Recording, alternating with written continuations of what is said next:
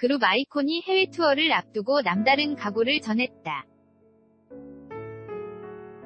아이콘의 리더 비아이는 6일 소속사를 통해 일단 신, 곡 위주로 많이 보여드리고 싶다. 몇 팬들의 기대를 한껏 높였다. 멤버 중에는 훨씬 더 풍요로운 무대를 보여 드릴 수 있을 것이라고 했고 윤영은 같이 놀 수 있는 무대를 하는 것이 이번 콘서트의 목표다. 며 위지를 불태웠다. 이어서 다른 멤버들은 오래 기다린 만큼 잊지 못할 추억 만들어 드리도록 노력할 테니 기대해 주시고 찾아와 주셨으면 좋겠습니다. 라고 당부했다. 아이콘은 8월 서울을 시작으로 해외 투어에 나선다. 이번 투어 아이콘 2018 continue 투어의 첫 공연은 8월 18일 오후 5시 서울 올림픽공원 체조경기장에서 펼쳐진다. 티켓은 오는 9일 오후 8시 옥션 티켓을 통해 예매가 가능하다. 이에 앞서 YG 엔터테인 먼트는 6일 오전 10시 공식 블로그 www.i글 ife.com을 통해 아이콘의 새로운 투어 티저 영상을 공개하며 더욱 완성도 높은 공연을 예고했다. 아이콘